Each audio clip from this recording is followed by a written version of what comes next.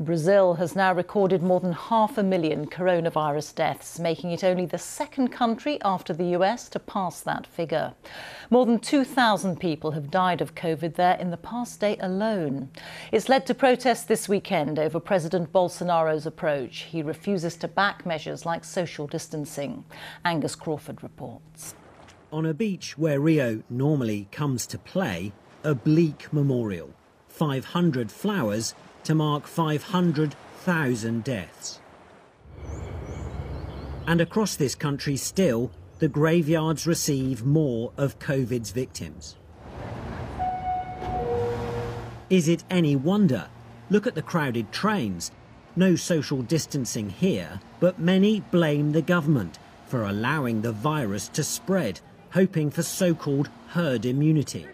And as the number of deaths grow, so does the anger. The feeling here is one of indignation. We can't stand it anymore. The government is worse than the virus. He took too long to buy the vaccine. Herd immunity won't do any good. The only immunity you can get is with the vaccine. There's no other way. I've lost many friends, almost lost a cousin. Millions of people are orphans, fatherless, motherless, and childless. There are protests across Brazil. The banner reads Bolsonaro out. He's the president who once called COVID the little flu, and they blame him for what's happening. But in a tweet, the country's health minister insisted he was working tirelessly to vaccinate all Brazilians in the shortest time possible.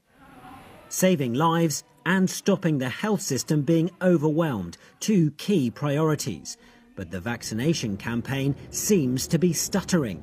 29% of the population given a first dose, only 11% a second. And so they march in their thousands against what they see as government incompetence, calling for their president to be impeached. This health emergency may soon become a political crisis. Angus Crawford, BBC News.